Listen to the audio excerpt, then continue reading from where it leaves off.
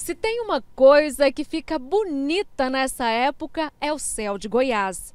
Por outro lado, aqui embaixo não fica tão bonito assim não, viu? As árvores secam, o sol esquenta, principalmente na parte da tarde. Tem que evitar a exposição e as queimadas já cobrem a paisagem de fumaça. Essas últimas características levaram o IMET a emitir o alerta de perigo potencial. Um estado de atenção, ou seja, um estado de umidade entre 20% a 30%. Então está começando ali a chegar ao estado é, que tem condições aí para mais focos de incêndios, né? a questão do ressecamento das narinas, dos olhos.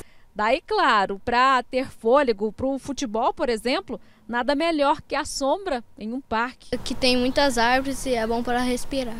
Se não for assim, nada feito, né não, Luiz? Nesse tempo tem muita poeira, muita fumaça e atrapalha a gente brincar. Se até criança tá percebendo o tempo seco no meio da brincadeira, realmente a situação não tá lá essas coisas, né? E para piorar, os bombeiros estão atendendo no mínimo quatro ocorrências de queimadas todos os dias. E elas nem precisam acontecer aqui pertinho da cidade para atrapalhar a vida da gente.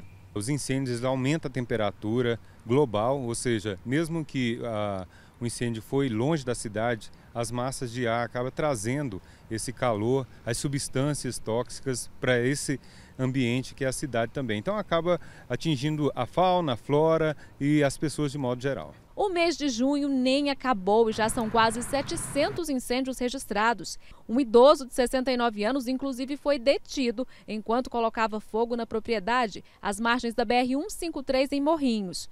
Os bombeiros orientam para fazer aceros e procurar a orientação deles para construir abafadores e aprender a controlar os incêndios se for o caso. Colocar fogo é, principalmente em matas, em locais onde a área de preservação ambiental é crime ambiental previsto, além da multa, também detenção de até três anos. E para a gente terminar, se além da secura que você já conhece bem por aqui, tem a esperança de uns dias mais friozinhos para pelo menos valer a pena o inverno, quem sabe no fim de semana ele chegue. A média para Goiânia é de 13 graus para esse período agora, é baixo pela manhã, né? Mas pode ficar um pouquinho mais baixo ainda, aí, em torno de 11 graus, 12 graus.